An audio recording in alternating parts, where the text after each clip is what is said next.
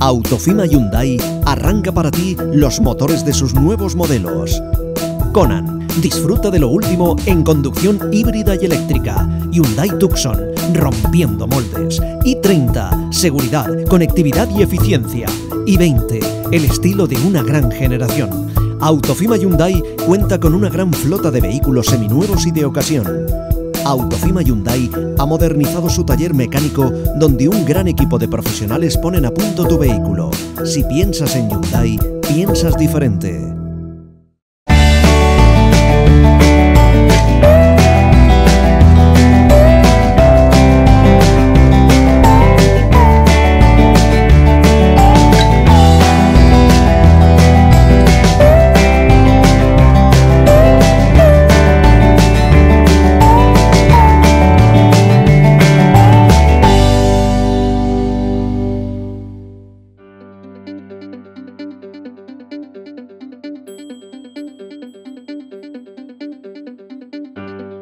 I avui el que toca és fer coca a la calda. Anem al Museu de Puçol perquè Paco de Panaderia Paco va encendre el forn i a fer una demostració, un taller de com se fa la coca a la calda.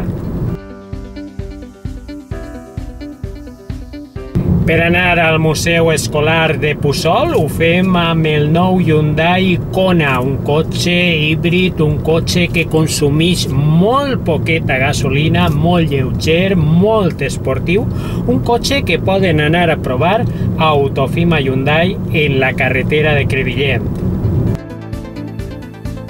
Avui en el Camp d'Elx, coca a la calda.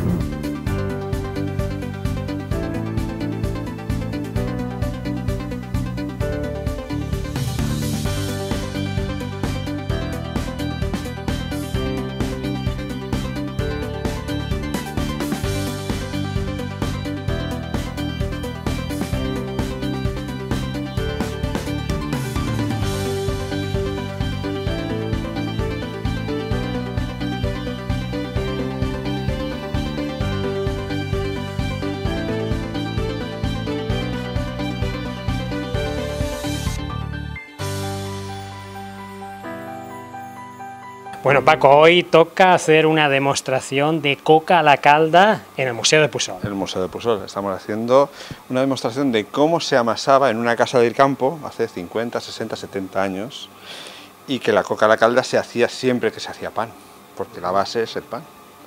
Entonces, lo que aquí he traído pues ha sido una, una, una amasadera que me he hecho expresamente para este evento, que bueno, que le iré usando en sucesivas veces, y nada, eh, explicándoles el proceso del amasado y tal, y también unos rollitos para que para hacer algo de dulce también. Hemos amasado pan, que ahora volveremos a amasar, coca a la calda, que eh, también hay por allí, y, y pan.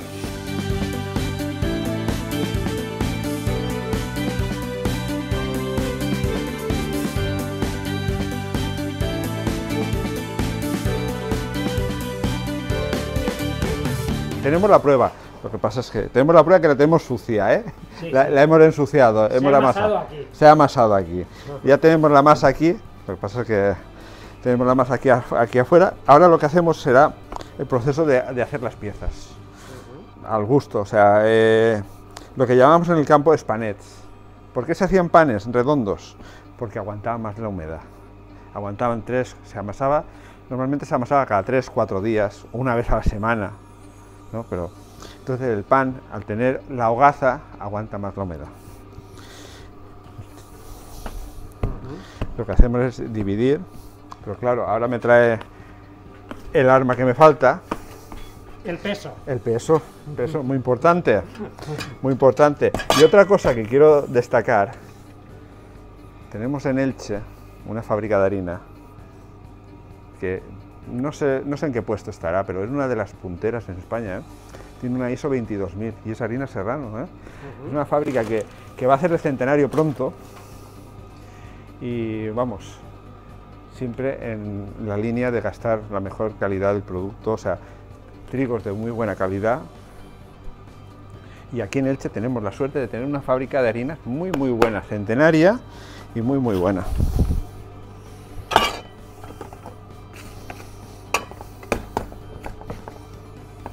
¿Qué peso debe de tener esto?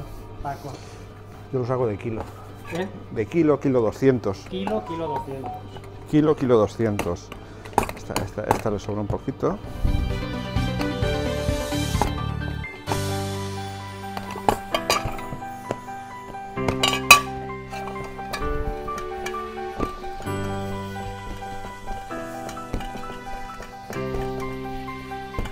¿Ahora qué estás haciendo?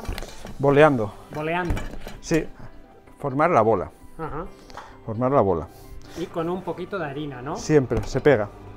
Es como se está pegando, pero le echamos un poco de harina y la vamos, la vamos tomando.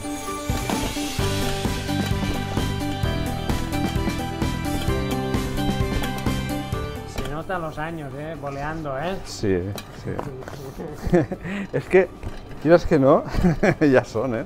Ya son años, Ya ¿no? son años, son años de oficio, de aprendizaje y de...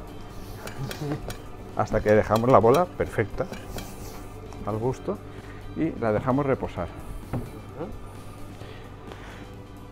Luego esta bola, a los 5 o 10 minutos, la chafaremos.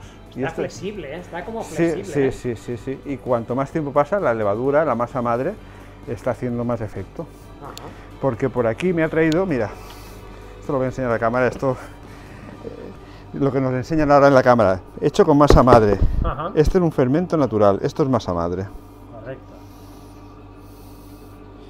Mira, eso es masa madre, eso es levadura viva. La masa madre, la masa madre eh, lo, lo que hace es que, digamos, que las, las bacterias, las bacterias aerobe eh, que hay en el ambiente llegan aquí y, va- y van colonizando. Aquí hay humedad y alimento y ellas van trabajando y van colonizando.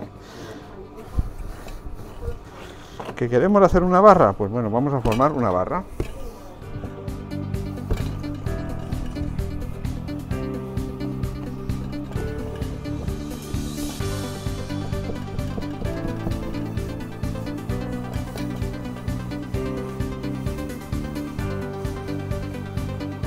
el bocadillo. ¿Ves? Ya está, ya está la masa, ya está, ya está más flexible. Lo que hacemos era chafar los panes.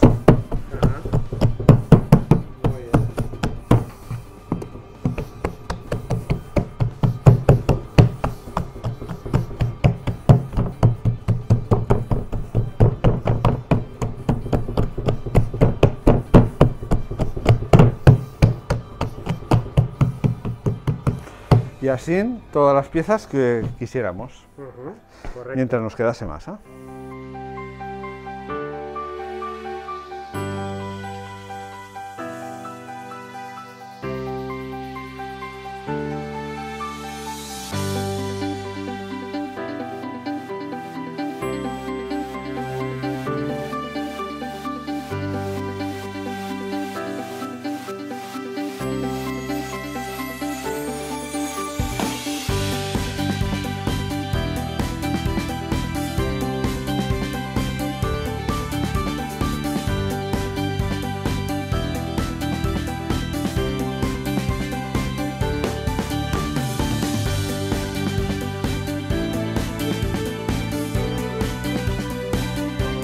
Bueno, ¿qué tal está la coca esta que habéis visto hacer? Súper, súper rica. Está súper rica, ¿no? Buenísima, buenísima. Buenísima, ¿no?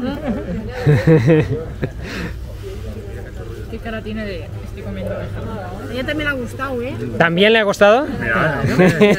está ahí, está ahí muy atenta y probando. Muy bien.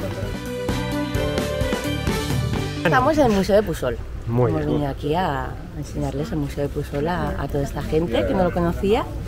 Y, y nada, aquí estamos. Sí, bueno, y habéis visto una demostración de, de coca. De Coca la Calda, que nos han hecho de la panadería de, de Paco, de la Valla. Y que está buenísima, la estamos probando, está muy buena. Está muy buena, ¿no? Y nada, lo han hecho muy bien. Lo han hecho muy bien, ¿no? sí. Bueno, la gente que te acompaña, ¿de dónde son? Pues eso aquí, los chicos que han preparado esto sabrán más de dónde viene cada uno. ¿De dónde viene cada Bueno, uno? pues bien, tenemos gente de muchas partes del mundo. Tenemos gente, de Turquía, tenemos gente de de Estonia. Eslovenia. Eh, Perdón, Eslovenia, es muy parecido el país. Eslovenia, tenemos gente de Georgia, tenemos gente de Portugal, tenemos gente de Francia, de Bélgica, de Finlandia, de México, es decir, de muchísimas partes del mundo realmente. A venir a comer. Ciudadanos coca. del mundo. Exactamente, y a conocer el Delch. Y a conocer el Candels. Exactamente, a eso les traemos. Porque bueno, esta, esta actividad está integrada dentro de... Claro, es que es, es un festival internacional de cine rural y medioambiental que se llama Delch Rural Film Fest, Muy que es la décima edición y esta décima edición hemos venido a celebrar nuestro aniversario en el Camp. La novena edición, donde lo hiciste, La novena edición se hizo en Bañeres de Mariola, Bañeres de en la zona del interior de la provincia de Alicante, cerquita del Coy. Siempre en la comunidad valenciana. No, hemos estado tres años en la Comunidad Valenciana y los seis primeros estuvimos en la zona del sur de Castilla-La Mancha, Ujú. en otro parque natural que se llama Valle de Alcudia y Sierra Madrona, que también empezamos en un pueblo que se llama Fuencaliente, y por eso es el, el festival se denomina Fuencaliente Rural Fest. Hicimos dos años y al tercero lo convertimos en itinerante. Salimos allá, nos repartimos en diferentes pueblos de esa zona, de esa mancomunidad. Y ya dimos el salto a la Comunidad Valenciana, al interior de la provincia, y ya este año, en el décimo aniversario, Hemos tenido la suerte de que nos hayan acogido aquí, el Ayuntamiento del Teatro de Jordi Arias en Manupalén Rural. Ujú. Felipe, con Felipe. Y, y Medio Ambiente, que, que están haciendo un trabajo, han hecho un currazo increíble. Muy Y bien. está saliendo todo perfecto. Sobre todo, te digo que se ha adelantado muy bien porque la gente, el feedback que tenemos con la gente, que suele ser con este festival que organizamos, porque buscamos siempre que la gente esté muy a gusto, tenga muchas cosas que hacer, se divierta, disfrute de la cultura, disfrute del- de la zona donde vamos, en este caso el Camp Delch. Ujú. Y el feedback es muy bueno. La gen- De hecho, un chico de Mallorca nos decía el otro día que el día anterior había sido el mejor día de su vida. Así que imagínate el nivel de cómo está la gente disfrutando del festival y disfrutando del Camp Delch. Ellos son cineastas. Tenemos de todo, tenemos cineastas, tenemos productores, tenemos actores. El chico es un actor belga de un mediometraje que pusimos ayer en la valla. Eh, tenemos eh, jurado, tenemos voluntarios. eh, casi todo el mundo está relacionado con el mundo del cine. El 95% te diría que está relacionado directamente con el mundo de audiovisual, de alguna manera, con el mundo del cine. Muy bien. ¿Y esta noche qué tenéis previsto? Esta noche, a ver que me confunda yo, que con los días tengo un lío, que, que no veas. Tenemos el taller de.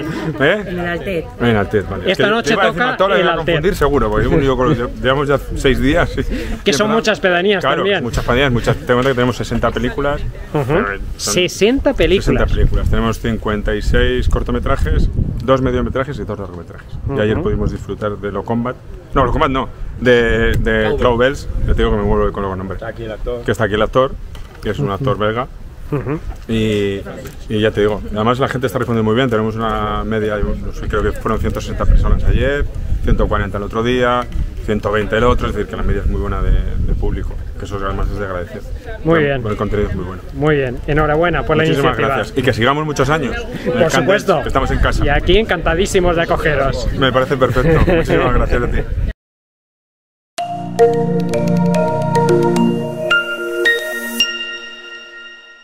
En el centro de las vallas y en Trabalón, el Fornet de Paco te ofrece despacho de pan, pastelería y cafetería. El Fornet de Paco Trabalón con la mejor elaboración profesional, tradición y experiencia para acompañar tu mesa, con el mismo sabor auténtico de hace más de 30 años. El Fornet de Paco, dulces y mucho más en las vallas y en Trabalón.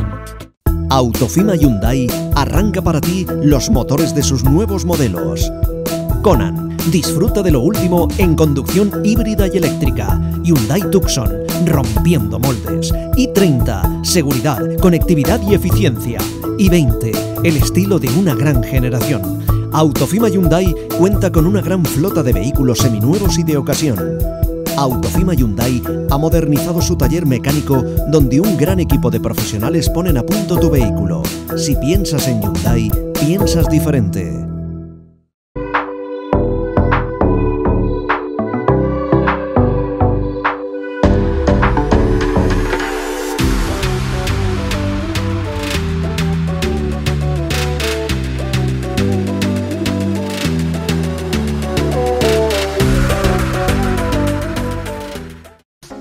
Cambayas Cooperativa Valenciana, fundada en 1979. Productores y comercializadores de frutas y hortalizas, con certificación ISO 9001, Global Gap y Agricultura Ecológica. Vive en Teleelch la historia de Elche a través del Museo de Pusol y la voz de sus protagonistas. Todos los miércoles después del informativo Telenit. Proyecto Pusol, Patrimonio de la Humanidad.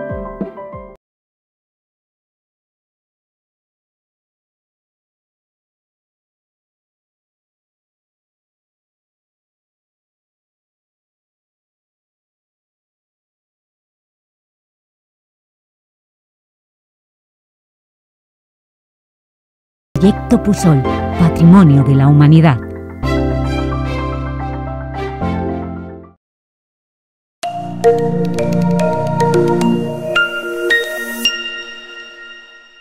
Una vez que se encendía el horno, una vez que se calentaba el horno, el calor residual, el pan necesita el horno fuerte.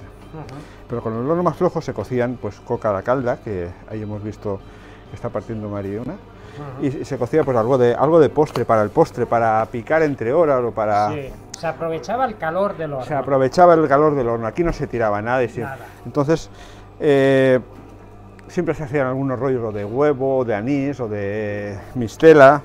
Estos son de huevo porque la masa es muy maleable, que es los que yo uso para hacer los talleres en los colegios para los niños.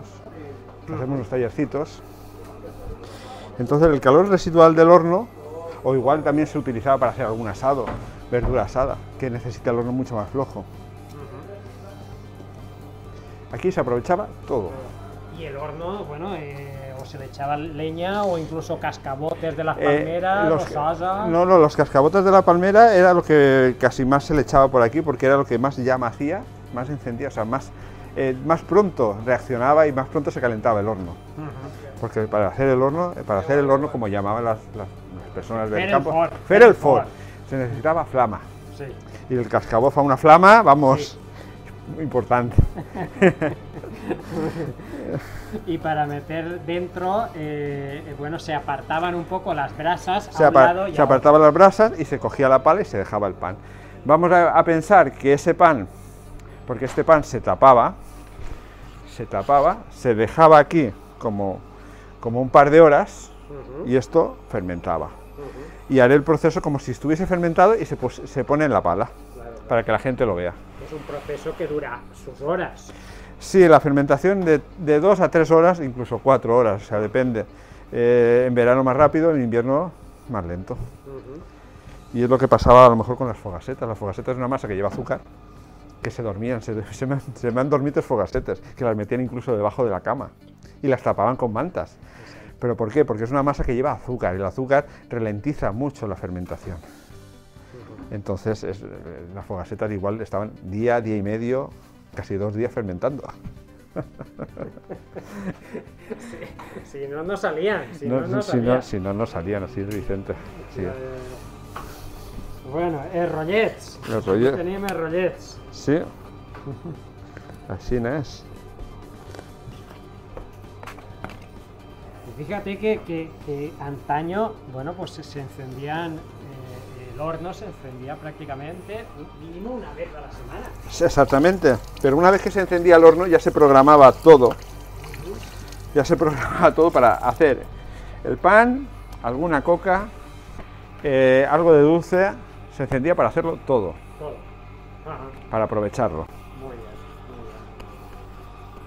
muy Incluso quedaban vecinos. Sí. quedaban vecinos para aprovechar el mismo horno y hacer para varias casas, para varias familias. De ahí que, de ahí que en el campo de Elche muchas casas eran casas juntas o habían roalets, como se conocían, que eran cuatro y cinco casas todas juntas, tenían un horno en común o el horno era de uno y todos aprovechaban el mismo horno. Era una manera de, de autoprotegerse de alguna manera, porque si uno caía enfermo, pues tenía al vecino, y si uno se iba a trabajar, tenía con quién dejar a los críos. Había más unión en el campo de Elche, era otra forma de vida, ¿no? El campo siempre ha sido una vida muy, muy de cuidar al vecino, muy de cuidar al vecino, más que de familia. Habían, habían vecinos, habían vecinos que eran más familia que la, la propia familia.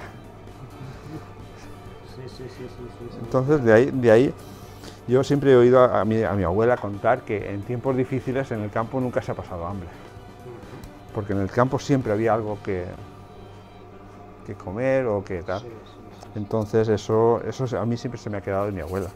Y los vecinos cuando hacían pasteles, hacían tortadas, quedaban entre ellos y había, más- había unión- una unión Correcto. muy sana. Te cunde, ¿eh? Va rápido esto, ¿eh?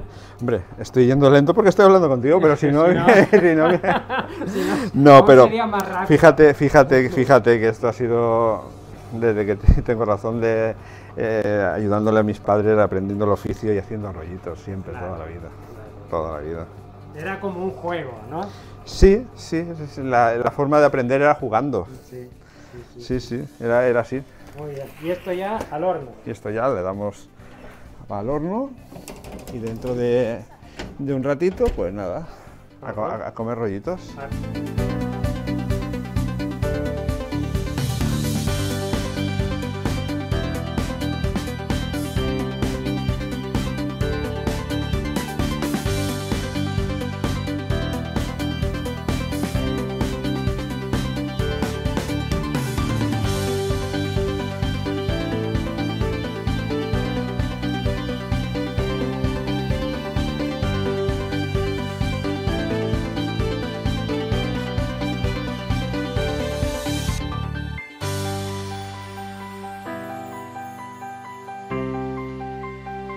Rafa, quins restaurants esteu anant del Camp d'Ells? Perquè mm, vos heu implicat moltíssim en dinamitzar l'economia rural d'Ells? Sí, bueno, no, no només els restaurants, també un poquet el que és la, els productes de, del camp. Per exemple, pues, hem visitat la- l'Almassar al Tendre el dimarts, eh, demà tenim previst visitar les bodegues Faelo, hem anat també a fer una demostració de la productivitat in situ dels melons de, de Carrissals, han conegut pues, des de la producció fins a la comercialització un poquet el, el procés. I la gastronomia pues cada dia estem eh, portant-los a que, a que, a que coneguen els menjars típics d'ells en els restaurants de, del camp i bueno, el divendres de, de la ciutat. Han anat con, en concret a, a l'Estanquet, eh, Martino, Lugolat, al restaurant Matola, eh, a, demanen també a Matola al, al Cachito i ja el divendres, con la, la visita que tenen des del centre històric, pues anirem al, al granero. Però sempre s'intenta que, que el menú que siguin coses tradicionals, arroses, amb tarongetes, han, han pogut provar un poquet de tot, de tota la gastronomia que tenim, tant en, en el camp com, com en la ciutat.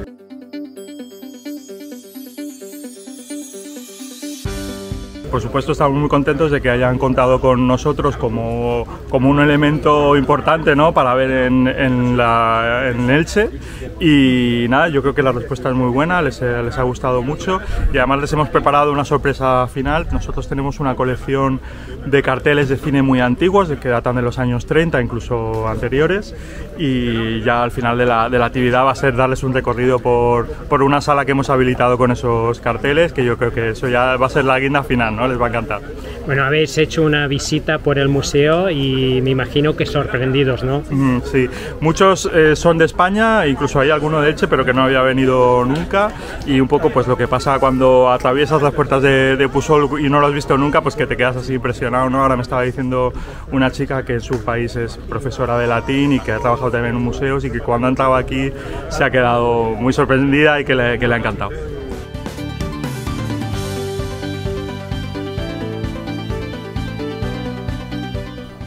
Bueno, Paco, esto ya lo tenemos, ¿no? Esto ya lo tenemos. Esto de categoría, ¿eh? de categoría. Y ahora vamos a poner los que nos quedan y a Muy seguir. bien, muy bien. Y a seguir Sí, haciendo. Sí, sí, sí, sí. Esto detrás de una bandeja, otra. Detrás, Bueno. Paco, esto tiene muy buena pinta, ¿eh? Pues nada, Tiene a buena pinta. a degustarlo. Tú me lo dirás ahora. Tú me lo dirás. Bueno, Paco, la masa esta la teníamos o la tenemos ya preparada, ¿no? Sí, lo que pasa es que, claro, por temas de, de tiempo, pues aún no ha fermentado lo que debe de fermentar, pero vamos a hacer como que esta masa, Sí. ya, bueno, ya ha fermentado algo, pero le faltaría lo menos, al menos una hora más. Una hora más. Ya del, tama- del que- tamaño primero al otro, pues este, esta masa ya, ya ha cogido. Mm. Vamos a hacer como si la pusiéramos al horno. Muy bien. Aquí no tenemos el horno porque lo tenemos que está, está roto de momento. Sí, sí, el horno que se hizo aquí en el Museo de Pusol era un horno pues de, de adorno. Exactamente, entonces vamos a hacer como que lo ponemos al horno. Entonces yo me he traído mi- una pala, una pala de horno, Sí, sí, para que se viese, pues al menos cómo, cómo se, el procedimiento que se, se lleva. Se cogía el pan, se voltea, Ujú. se coge la barra, también se voltea, se, se cortaría,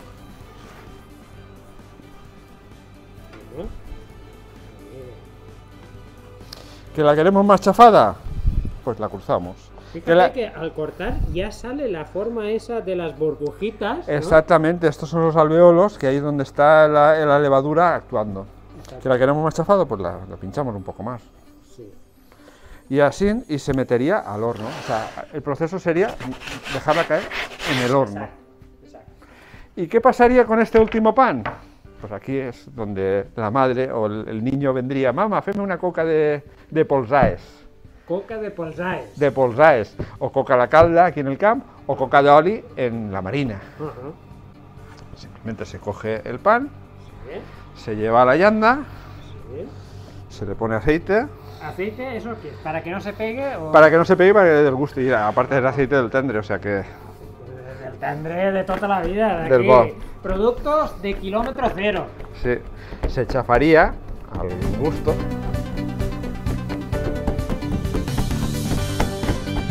La verdura no está, ¿verdad, Mari? Ah, vale. Da igual, usted tráemelo. Porque la vamos a hacer mixta. Para que Vicente la vea cómo se hace mixta. Muy bien. Esta y así. Se chafaría, se deja reposar, Sí. se pone un poquito de sal y quiero hacértela también con verdura, porque has visto que Muy antes bien. la tenían con verdura, también verdura le da un sabor muy muy bueno. La coca a la calda sería tal cual con aceite, Sí. pero si la queremos adornar, adornarnos, darle sabor, pues vamos a hacer media mixta. Muy bien, le estamos echando ahora pimiento. Pimiento verde. A mí, para mí el pimiento verde, el rojo, eh, la cebolla, tomate, todo lo que queramos. La cebolla y el pimiento es algo que, vamos, le da, Le da un sabor, ¿no? es espectacular. En el campo, mira, Vicente, con una saca de harina, aceite y lo que produce la tierra, hambre no se pasa. Seguro que no. Sí, eso siempre me lo ha dicho mi abuela, siempre me lo ha dicho mi abuela. Nada. Aceite en abundancia. Y aquí viene el secreto de la coca a la calda, espolraes. ¿Y por qué son espolraes? Para que el aceite no salga de la coca, se quede en la sí, coca. Entonces se le pega sí, así, sí, sí. se le hace así las hendiduras, entonces el aceite va a la hendidura.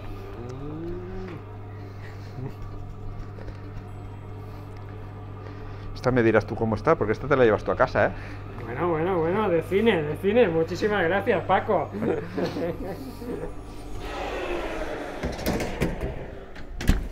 Hala. 20 minutos, en 20 minutos lo tenemos 20, listo. 20, 25, quizás 30 porque el horno esté un poco más flojito y Ajá, tal. Muy bien, Tenemos coca, Carla. muy bien, muy bien. De categoría. Ah. Enhorabuena, Paco. Muchas gracias.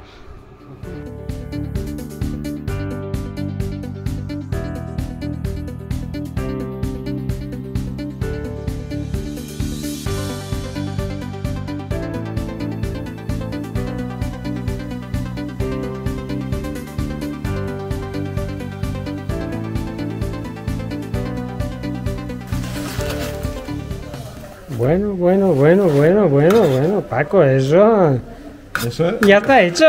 Avui ja tens dinar. Ja tenim, ja tenim dinar per avui. tenim dinar per avui. Ja, che, de categoria, Paco. Eh? Recién feta. recién, porque calenteta, calenteta.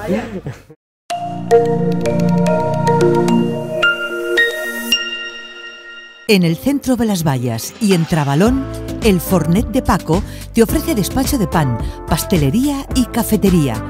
El Fornet de Paco Trabalón con la mejor elaboración profesional, tradición y experiencia para acompañar tu mesa, con el mismo sabor auténtico de hace más de 30 años.